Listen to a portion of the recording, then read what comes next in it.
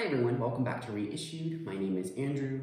Before we get started today, if you're not already subscribed, go ahead and take a moment to hit the subscribe button. I'm making DIY, home decor, men's fashion videos every week. I would hate for you to miss one. Um, today, I feel like I'm like giving a presentation. You know, I have a lot of information to share. I have bullet points, I have notes here on my laptop. Um, we're talking about gallery walls. So in a recent video, my home tour video, you can see that I have art just like sitting everywhere. Part of that is because I am selling paintings now, and so I just will continue to have art everywhere. But also because I moved in here about two months ago and I was like feeling uh, that anxiety of committing to hanging a whole bunch of stuff on the wall and nailing all the holes and doing all of that. So um, everything was just sitting, and so I thought this week I would hang art on the walls actually, and I would show you that process a little bit and talk about how I put together what I hang on the wall and where within the gallery wall framework. Now, if you don't know what a gallery wall is, welcome to planet Earth.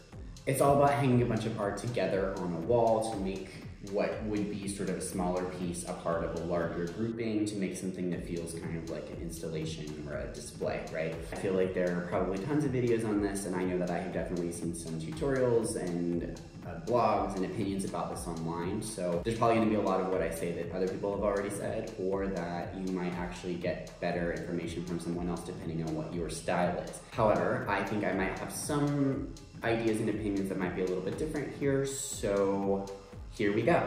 So first of all, let's talk about the way that we choose art for our space. I tend to think of this as like two categories. There's the art that you choose for your home, and then there's the art that like chooses you.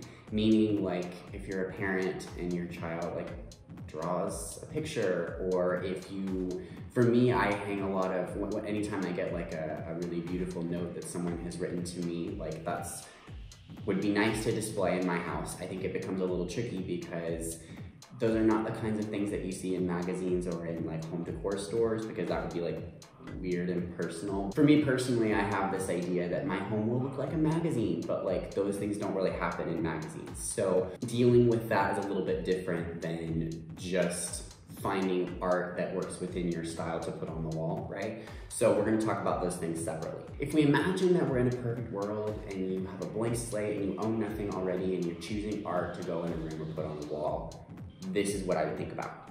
First of all, I am a big fan of choosing art that you really love. I think sometimes we can think about what would be the right thing to hang or what would be stylish or fashionable or whatever, um, which is fine, but I think those kinds of things, trends come and go, and so it's better to stick to things that you really respond to personally. So pay attention to your own intuition there in terms of what you like. As we start to think about what belongs in what room, scale is super important. For me, I'm hanging art in several different spaces. Some are really massive walls with really tall ceilings, so it would be pretty silly to put a bunch of little pieces of art all over that wall. It would just be like make them feel really unimportant or small unless you were to have just like a massive number of things and make it more like an installation. Whereas for a smaller room, similarly, if you put really big art in there, it will just be kind of overwhelming. So I think just take into consideration the general scale of where you're placing your pieces to make sure they feel appropriate for the room and give the right amount of focus to the art. I think one of the most important factors when choosing things to go together for a gallery wall is color. Color can really be the thing that ties the pieces together and makes them feel cohesive. Um, it also is, can be the thing that really ties your whole room together and makes it feel cohesive. So for me personally, it's funny, I think I was in a position where I chose a lot of the art before I started buying a lot of furniture and decor for my home. Um, and so I ended up with colors and things that I didn't necessarily think that I would end up with. For instance, one of the very first pieces of art that I bought, I got for five dollars at Goodwill in North Carolina. Like I was just out of college, and it's this um, woman that's pink and yellow. Yellow and pink are not really colors that I would choose for my house, but because I have that piece, it's just sort of lent me to go in that direction in terms of colors. So I think whichever comes first, like if you buy the art first, maybe you want to factor those colors into your decor, or if you have decor first that you love, consider that when you're going toward your art, getting sort of similar colors. At the same time, I think there can be an idea where everything in your house has to match and you have, can have one color scheme and everything has to go together. I personally am a big fan of, I think of it like when you go into a store, like a, a home store, you walk around the different parts of the stores and different parts can have different vibes or different color schemes or energies. And so not everything has to go together like house-wide. You can mix it up a little bit um, depending on what you like. Um, but thinking about in each particular space, whatever's in your eye, like that can have the same kind of color tones. Also, when pairing things together, I like to think about different textures. I kind of divide art into three categories. You have your architectural pieces, which are like mirrors or frames or windows or that sort of like just general structure. And then you have um, paintings or things that don't, that aren't in a frame essentially. And then you have your framed pieces. And I personally have found that it's better to mix those things up and kind of um, have some variety. For instance, like if you were to hang a whole wall of frames, if you're not the right angle and the light is shining on there, you're gonna get a whole wall of that glare, right? So for me, it's like if you're gonna get that from some pieces, of course, if it's in a frame, no matter what, but if you mix that up with some paintings that aren't gonna have that kind of glare, it helps the things to look better from multiple angles. And I also think um, incorporating some architectural things in there kind of breaks things up and can act as a little bit of a palate cleanser. For instance, if you were to put entirely paintings all together, I think they would compete with each other. So it's nice to have some things just to kind of like willingly take a back seat and not compete for attention. One last thing to consider when choosing art is kind of the vibe of the room that it's going in. Most of the art that I have right now was either brought with me from way back or it was purchased physically for another space. So I'm just coming into that with like a pool of things to choose from.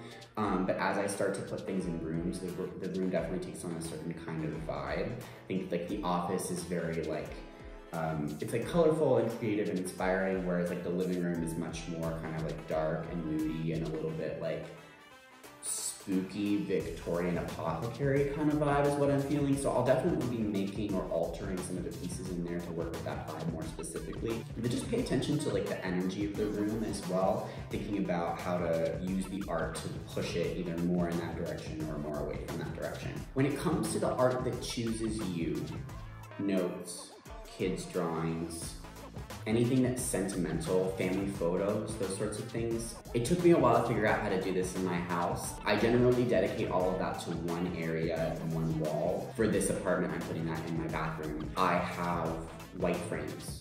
All white frames, everything goes together different sizes, different textures. Some things were bought at Michael's, some things are from Ikea just mixing up not only what the frame looks like, but also the depth level. I think that giving it some texture in terms of how things come out, how far things come out away from the wall can be helpful. But yeah, putting, putting everything in a similar color frame, I think is a really good step in terms of starting to make things feel a little bit more cohesive. I think also quantity is a big deal. I have a ton of frames and as I continue to add to that collection, eventually I would like to cover the entire wall. So rather than having like three little things together that may feel a little bit mismatched, expanding that out and going big with it and giving it more of that installation feel and covering a lot of space makes things feel a little bit more dramatic and like therefore a bit more edgy than just like three frame family photos that sit together, you know? Now in terms of hanging things on the wall, this is where I think that maybe other tutorials will do a better job. My approach to design and my aesthetic tends to be a bit more haphazard than most. So I know that some people when they do a gallery wall will like lay everything out on the floor and measure the distance between everything or create like a, temp a paper template on the wall where this is exactly where you hang things so that they're perfectly symmetrical. And that's just not not only is that not my mode of creation, but that also is just like not what I look for in my spaces. I tend to like things to feel a little bit more unbuttoned and a little bit more um, eclectic and bohemian and kind of like they were just thrown up there, right? I think I want things to feel a bit effortless. Effortless is the word that we'll go with there. Not messy, effortless. So when it came to me hanging art this week, I each time would sort of start out with a plan. I would kind of either set things in place or lay things out on the floor just to get kind of a general structure. And I do think that's important because I think if you just go in and start, it can be a little bit overwhelming. However, I found for both situations where I hung things on the wall that things definitely changed once I started hanging things. Either the scale was different than I thought or the placement ended up being a bit different. So then I kind of had to improvise by bringing in new pieces or painting other frames that I had. Um, and that will be a process that's ongoing. I like those kinds of processes to be ongoing, so I'm okay with that. But yeah, it was a bit of a haphazard process. So I have two additional thoughts here that I think are more specific to my style. Um, I think in considering like the larger tone of your space in your house, if you have a lot of art and you have multiple gallery walls, I would advise mixing things up a little bit. It could be a little weird if you go into every room and it like feels like there's the same types of pieces and the same scale and whatever. So for my house personally, I have three gallery walls. One is everything is hung, they're larger pieces, it covers a lot of wall space. Two, I have the bathroom, smaller pieces, sentimental, all in the same frames.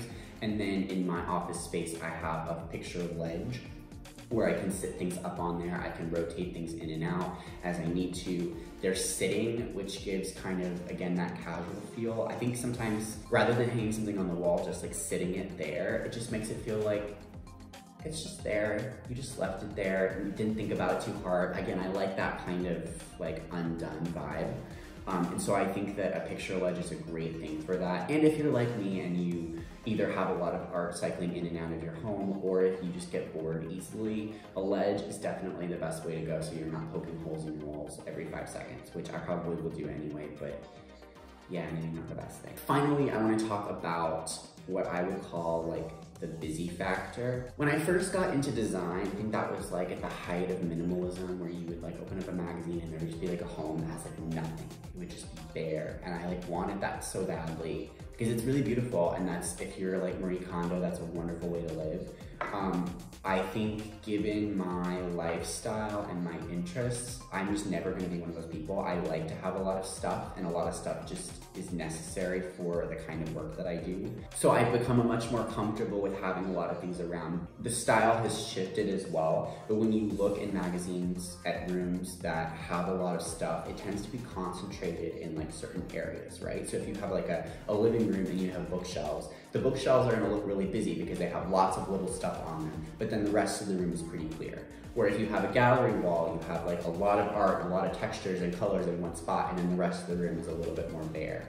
Um, so I think it's important when considering a space and thinking about a gallery wall, like you have stuff everywhere and a lot of little stuff and it's accessorized everywhere, it feels like a mess. Whereas you can like make the disheveled sections kind of like sit in one area and then contrast that with something that feels a bit more streamlined or a bit more like clean, it can balance that out and make the room feel like not overwhelmingly like full, you know?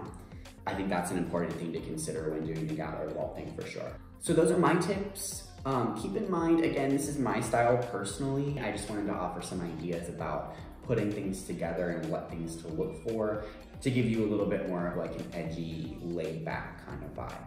So I hope this was helpful for you guys. If you have any other tips or ideas that you'd like to share, go ahead and leave those in the comments below. I would love to hear from you. Um, I will see you next week. I hope you have a good one. Bye.